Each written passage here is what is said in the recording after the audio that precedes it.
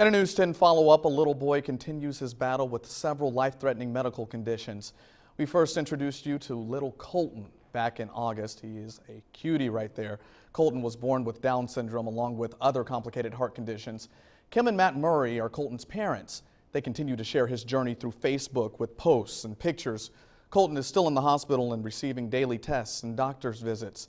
However, his parents wrote on a recent post that 2017 is off to a good start.